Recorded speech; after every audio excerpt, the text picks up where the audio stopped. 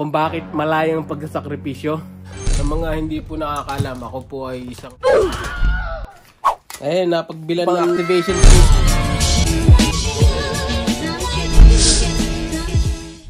My goodness! So guys, mabilis ang video lang to, ano? For the love of birds. For the love. For the love... For the love... For the love... For the... For the love... For the love... For the love... For the love... For the love of birds.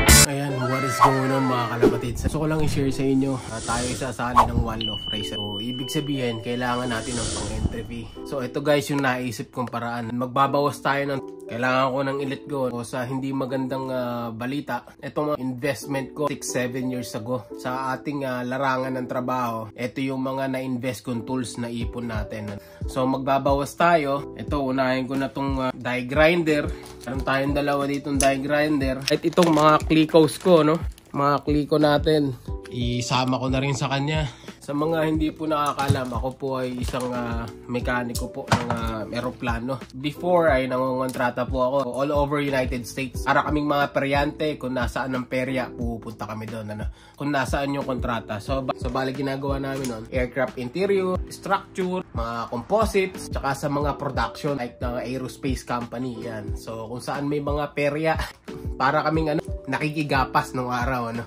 Kung saan may aanihin, pupunta kami doon. Like sa Texas, San Antonio, Texas, Houston, Indiana, South Carolina, North Carolina, Philadelphia. Ayan, nagtrabaho tayo dyan ano, sa Rome, New York, sa California, Washington State, Arizona, ah, Louisiana, Arkansas, Georgia. Ayan, ah, nagsipagtrabaho tayo dyan. So ito mga brad, hinihintay ko lang yung bibili ng ating ano, bibili ng ating tools. Ito, paborito kong air drill. Oh. Ganda pa ng swivel na to. With the customized pa yan. Yung bali kasi yung toolbox ko, naiwan ko sa California. No? Snap-on toolbox yun, maganda yun. Meron tayong 90. ah swivel din, ang gaganda. Sarap nitong gamitin noon. Yung rivet gun ko, wala na, matagal na. Matagal ko na na-dispose. Bali kasi sa ngayon, direct employee ako, hindi ko muna kailangan ng, ah, ng tools. Dahil nga, provided naman kami ng tools doon sa trabaho. So ngayon, nadagdagan ng ating um, hobby. So kailangan nating gumawa ng paraan. Ano? So ito, sacrifice talaga na i-dispose.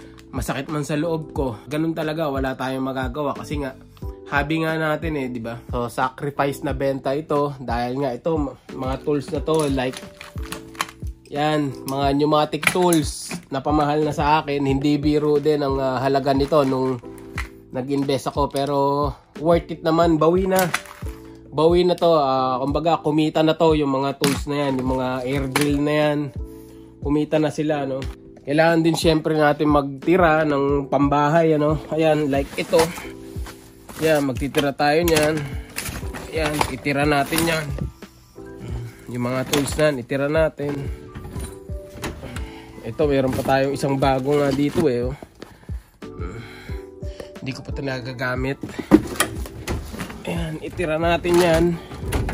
Atin talagang kailangan kong magtira pa. Ayan. Meron pa tayo dito isa. Hindi natin, hindi tayo makakapag-let go nitong mga ito. Yeah, like yung drill na yan, kailangan, kailangan natin yan everyday. Ako'y uh, medyo malungkot nga, no? Dahil napamahal nga ako sa mga tools ko, no? Sila yung kaagapay ko noon na bumabiyahe mag-isa bumabiyahe ko 3 days pupunta sa coast to coast biruin nyo 3,300 miles na driving ko yun ano. dire-diretso matutulog lang ako sa rest area kaya yung pangalan ko dati sa facebook ko sa mga hindi nakakaalam Kenzert malayang pagsasakripisyo no? bakit malayang pagsasakripisyo isipin nyo isipin nyo nag-iisa lang kasi ako noon na buwabiyahe sakripisyo para sa akin yon. Pero ito ang masarap pakinggan kasi para sa akin. Like yung pag sinabing malaya ka, no, parang nakaka-flip kagad ng uh, damdamin. Gumagaan yung pakiramdam mo. And then parang psychologically na nakakatuwang pakinggan ba. Kumbaga, pampagood vibe sa'yo, no, pag sinabing malaya ka. Hindi ko madirektang ma-explain pero alam ko sa inyo, karamihan dyan, ano, gets naman yung sinasabi ko, no? Gusto ko lang talaga na ah, habang nagsasakripisyo ka, malaya ka, no? Medyo nakaka depressing pakinggan yung pagsasakripisyo, no? 'Di ba? Ganun sa atin. Nagsasakripisyo na naman ako, ganun ano. Pero nung dinugtungan ko siya ng malayang pagsasakripisyo, no, parang hindi na ganun kahirap yung pagsasakripisyo ko. Kasi like what I said sa mga previous vlogs ko, no, lagi kong sinasabi na I always look at the bright side. At hindi ko mo may pinagsasakripisyohan ka ay ilulugbok mo na yung sarili mo sa lungkot. Ano maraming paraan para ma-divert mo yung mga nararamdaman mo. No? Kaya nga, sarap-sarap dyan sa Pilipinas. Kasi alam nyo kung bakit, kahit hindi ka kumain ng tatlong beses sa isang araw, pag nakita mo yung kapitbahay mo, 80% na lumalabas sa bahay nila, nakangiti ka agad, ngingitian ka. Dito, hindi ka ngingitian ng mga tao dito. Walang pakialamanan kasi dito. Sarap pa ulam nun, steak pa. So anyways, yun nga, ano, gusto ko lang magpaalam sa mga ating tools dito, ano. And then, uh, ito may may sentimental value sa akin to, no? Ayun na nga, hinihintay pa rin natin yung uh, bibili na to, no? Uh, hintay lang kayo dyan. Yung mga rivet dyan kasi natin, na i-let go na natin, na ibenta na natin, ano? So, yun talaga guys, pag may gusto kong bilhin, ano? Pag meron kang gusto na hobby talaga, kailangan mong magsakripisyo, no? Kaya nga, malaya ka, no? Malaya ka magsakripisyo. Malayang pagsasakripisyo, no? Tara samahan nyo ako maging malaya sa pagsasakripisyo, no? Mga kalapatid, no? Ayan, ipasok na natin si Busitero dito, no? Yung karakter Busitero! Ayan, gusto ko lang magpaalam sa ating mga tools, ayun, like ito, oh. Ayan. Pero meron tayong mga hindi isasama dyan. Yung mga kailangan pa natin. Hmm. Ayan, die grinder steel. Gaganda pa ng ano yan. Puro ano yan. Ko. Hmm. Ito, pan-American pa. Shoutout sa nagbigay sa akin na to. Oh. You know who you are. Hmm.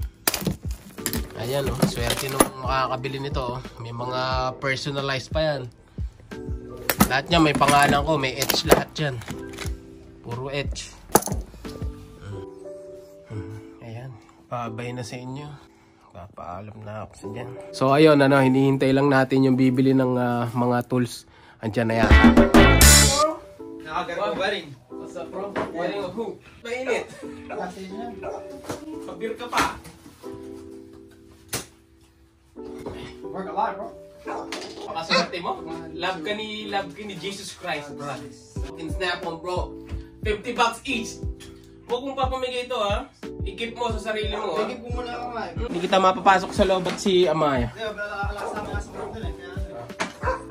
Ayan na. Nakang bang ano? Hindi mo lang ano? Puro niya pagkakao. Hindi na. Gusto ko mag-stock na ako sa Boeing, man. Time and a half, bro. yeah? Yeah. One contract, time and a half, huh? Eh, napagbilan ng tools natin, oh. 500 bucks. Meron na tayong pang-activation fee. Meron tayong pang-activation fee sa dalawang ibon natin sa One Love Race. Ayan. Yeah. Sabay na. I-oiled up mo lahat dahil 3-4 years nang di nagagamit yan. Hmm, tayo na nga. Oh. Malis na. Wala, eh, ganun talaga. Wala tayong magagawa meron tayong uh, hobby. Kailangan natin ng pang-entry sa One Love Race. So, all I can say is, okay lang, ano? Malaya ang gawin lahat ng gusto mong gawin, di ba? Kailangan mo nga lang magsakripisyo. Yun ang ating pagsakripisyo, no? Kaya yan, malayang pagsasakripisyo, no? Meron na tayong pang One Love Race. Sakto na to, dalawang ibon na pang, uh, pang activation fee. Alrighty. So, good luck sa race. Good luck sa atin. So, yun lang, ano. Ken Malaya Love. Dito ko natatapusin yung ating video. Kaya ganito, bigla na lang mawawala. Bam!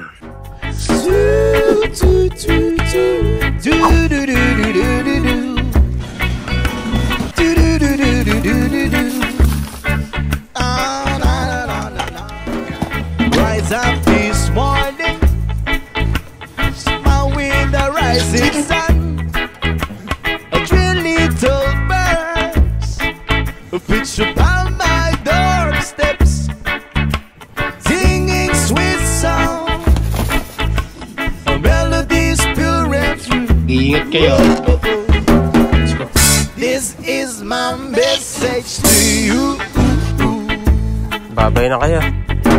Toot, toot, Kaya, say bye-bye na.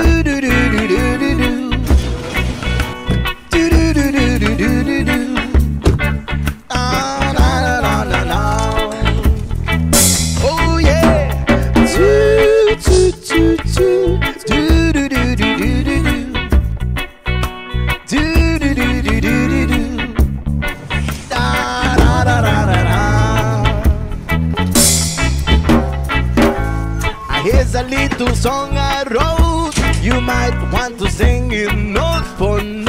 Don't you worry, Tracking number, right?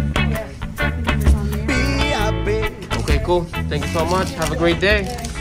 Bye. So ayun na nga guys, ano, na-send na natin yung ating ah, mahal na ibon, ano. So, waiting na lang tayo.